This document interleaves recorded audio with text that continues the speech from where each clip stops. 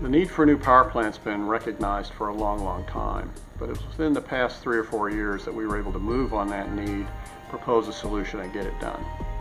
The overall goal of the Renewable Energy Center is to produce clean energy from biomass uh, to provide steam power for our campus. The old power plant was built in 1920s. It was so old and uh, I think the facility management even could not find replacement parts for some of the aging equipment. Plus it burns coal, it generates more pollution to our environment. Eastern is trying to move more towards a carbon neutral stand in terms of their um, their footprint, a carbon carbon neutral footprint as a campus. And when you look at the emissions that come out of a biomass uh, energy center versus a coal-based energy center, you see a, a very significant reduction in uh, pollution in terms of sulfur, uh, nitrous oxide, carbon dioxide, and uh, particulate matter when you use biomass over coal.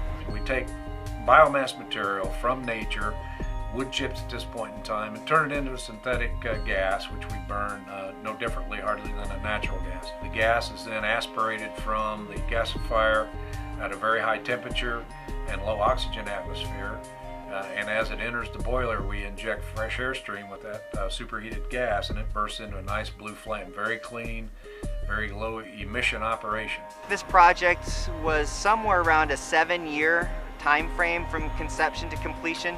And that had to do with some specific changes that had to be made in some of the state laws to allow for the financing options for the university and to move forward with this to prove that yes, a biomass solution could be feasible and effective for a university setting because this is the largest commercial gasification system in the state of Illinois at this point.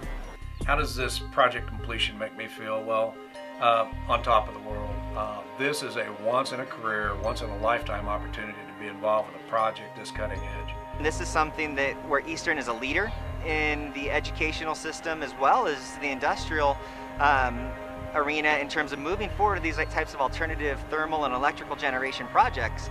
There were so many people involved in the conception and completion of this project, it would be a, a, list too long to name and I would not want to single out any one person, but I would like to single out this can-do spirit at EIU that really made it happen. We all gathered around that can-do spirit to make this happen.